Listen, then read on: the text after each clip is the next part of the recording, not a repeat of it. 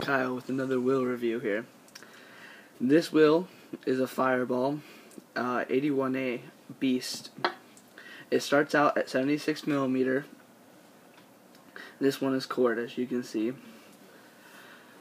They have beveled lips when you start out with them. I took a contact patch down on both sides because it. I find I like the thing of these like the formula and everything, like favorite formula, except for the contact patch. I would rather have a smaller contact patch than like these.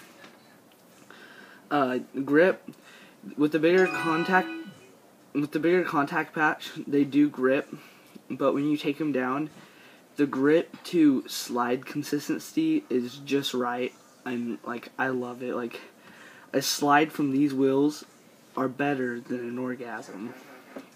Like, these are the greatest wheels I've ever rode. They're by far my favorite. I would suggest them to anyone. They're like what, fifty dollars? Around.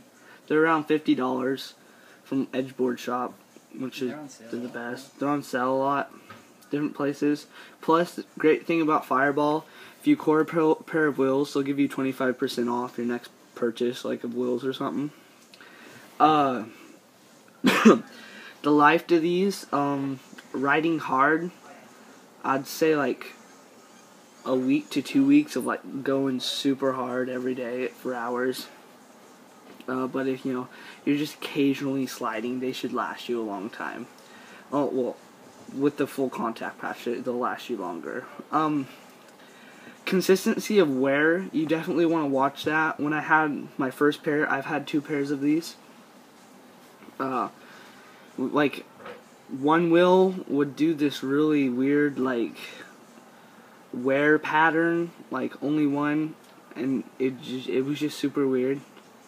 And then once you get to the once you get down to the bevel, you want to take a rock or something, find some way to, like lay it and round that out because that will that will fuck you up hard. Um, they have like chipped on me once. Um, yeah, just a small chip though. I came down off of a run and I was looking at my wheel. I kind of like pulled it and it just came apart. And then I figured I could slide on this, but you actually can't slide on cored because the other part just comes off. But all around, this is an amazing wheel. The speed, it maintains speed amazingly. It's one of the best formulas out there, Fireball is. So I would suggest this to anyone. They're amazing wheels. Go buy them at your local store or whoever carries them around you.